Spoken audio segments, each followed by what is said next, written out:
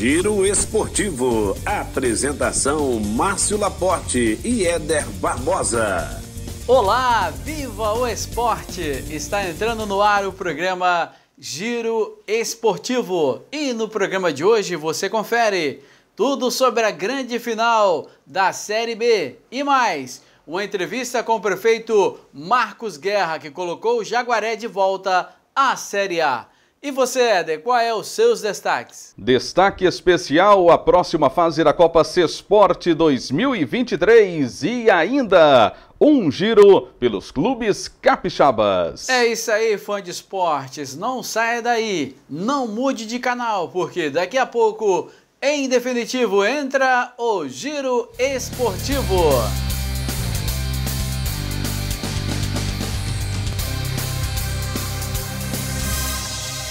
Olá, fã de esportes. Bom dia.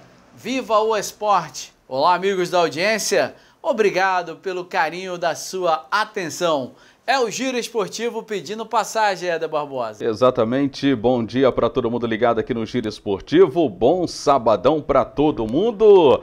Viva o esporte. O Giro Esportivo está no ar. E para começar o programa em alta astral, vamos falar sobre a grande final da Série B. Jaguaré e Rio Branco de Venda Nova, que já carimbaram passagem à Série A em 2024. É isso, né, Éder? Exatamente, né? Já estão na Série A do Campeonato Capixaba 2024, Jaguaré e Rio Branco de Venda Nova. Agora vão fazer essa grande final, jogo único no Kleber Andrade. E é claro, Jaguaré e Rio Branco de Venda Nova querem levantar a taça, é muito importante, vale o título teremos um grande jogo hoje à tarde. Estaremos lá, né, Márcio, no, no Kleber Andrade. Um jogo muito aberto. Não dá para cravar um favorito nessa grande final. Na bolsa de aposta, hoje eu apostaria no Jaguaré. E na sua avaliação, você prefere esperar um pouco? Eu apostaria no Rio Branco de Venda Nova, porque a equipe demonstrou um bom futebol tanto fora de casa como em casa, então jogar no Kleber Andrade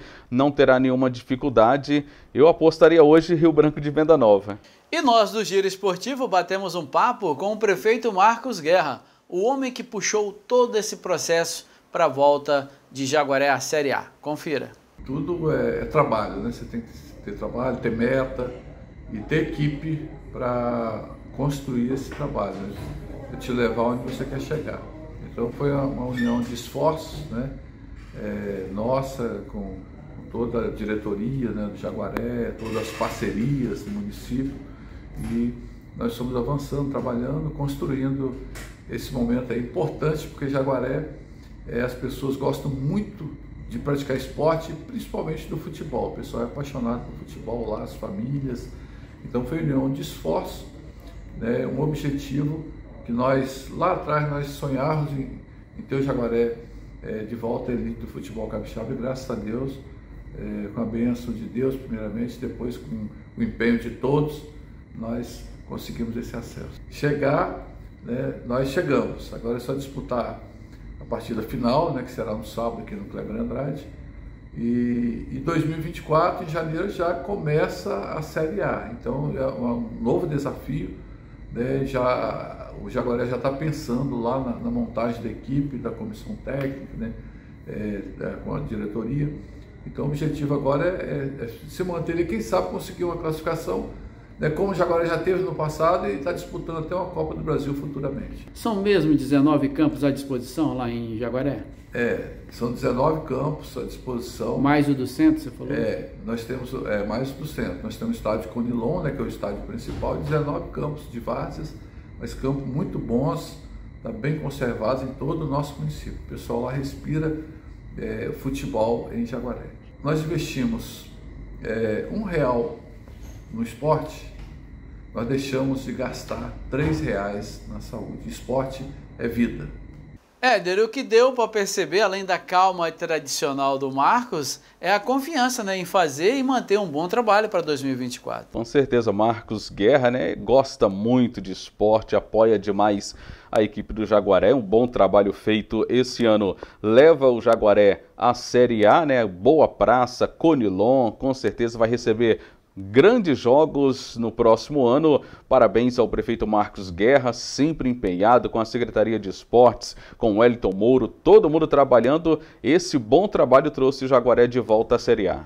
Para falar sobre prefeitos, vamos falar do Enivaldo que vai levar a equipe do Real Noroeste para jogar lá no estádio dele, na cidade de Barra São Francisco. O que, que muda com esse quadro?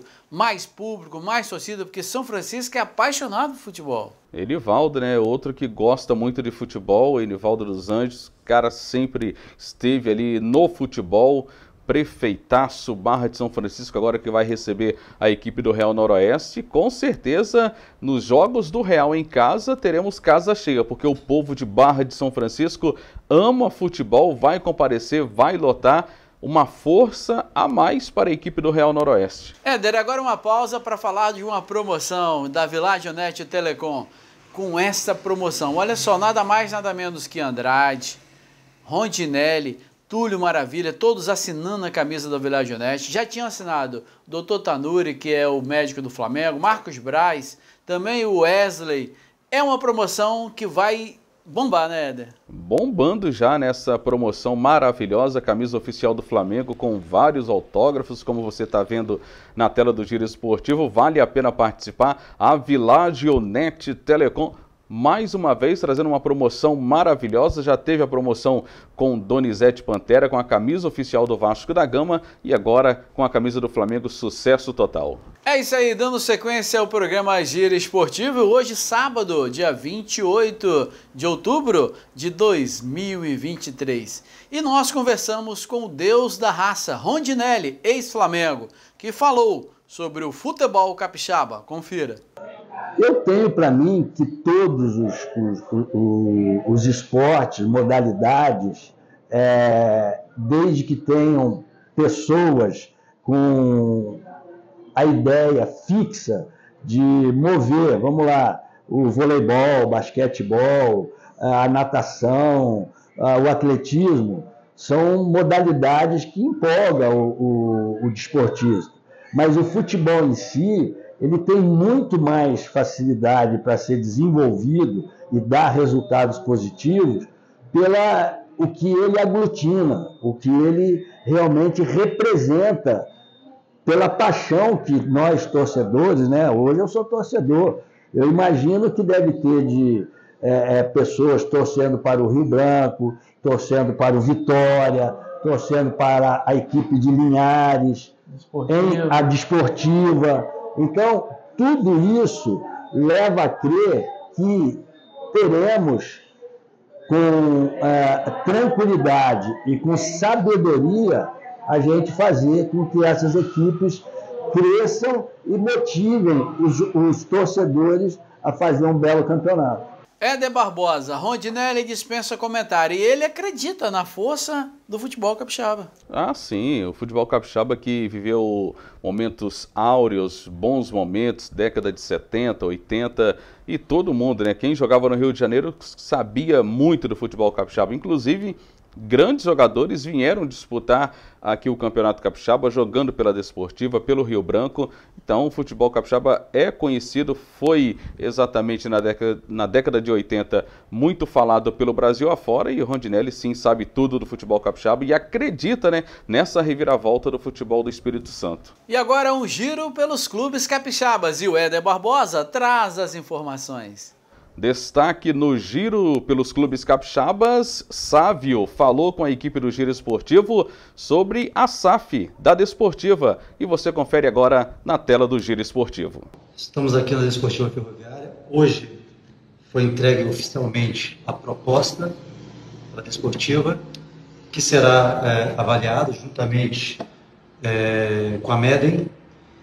Então, a gente está trabalhando bastante, você pode ter certeza disso, muito trabalho.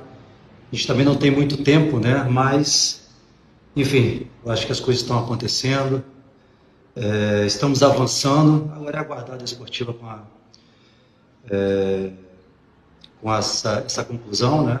Para a gente seguir em frente. Agora, só lembrando, e uma mensagem também ao torcedor Grenar, que esse sim vai ser fundamental nesse projeto e, e enfim, em, todo, em toda essa, essa reformulação da Desportiva Ferroviária. O torcedor Grenar vai ser realmente essencial e tem que estar junto com a gente, para a gente progredir, avançar cada vez mais. Éder, agora eu acho que as coisas vão andar lá no Engenheiro Araripe tem tudo para ter um desfecho né, maravilhoso para a torcida da Desportiva Ferroviária, né, a Desportiva SAF, o Sávio com os investidores ofereceram aí cerca de 116 milhões de reais por 90%. É um bom número, né, Márcio? Um, um bom investimento para a Desportiva Ferroviária e está todo mundo nessa expectativa, esperando mesmo que a SAF aconteça, que esse desfecho aconteça positivamente. E o Ninho da Águia, Éder? Como anda o Ninho da Águia, o Vitória? Agitado, né? Essa semana o Vitória Futebol Clube apresentou mais três reforços. O clube de Bento Ferreira confirmou o acerto com o zagueiro Kleber Reis, também com o zagueiro Josué e com o meia atacante Dodô. São os três reforços anunciados essa semana no Alvianil de Bento Ferreira. E nós estivemos, o Giro Esportivo, lá no Ninho da Águia, Éder. E aí você observa na tela, está quase pronta a loja Casa Vitória, que vai ser um grande sucesso eu acredito que vai vender muitos produtos, Éder. Isso é importante, né? Na casa do Vitória mesmo, os torcedores já vão encontrar todos os produtos relacionados ao Vitória Futebol Clube e tá ficando bonito, tá bacana demais. Torcedor do Vitória, quando chegar em Bento Ferreira, no Ninho da Águia, já vai se deparar com a Casa do Vitória, com tudo, tudo, tudo, tudo para presentear, para levar para casa. Bacana demais, boa iniciativa do Vitória, tá de parabéns, tá bonito demais. Éder, eu vou até puxar a tua orelha que o Perovano puxou a minha orelha também. É Casa Vitória e não Casa do Vitória, mas vai ficar bonito, né, Éder? Vai ficar bonito, Casa Vitória, Casa do Vitória, tudo do Vitória, tudo azul, tá lindo demais. Parabéns, Perovano, parabéns a toda a diretoria do Vitória, a nova diretoria do Vitória. Éder, mudanças à vista no futebol capixaba para 2024?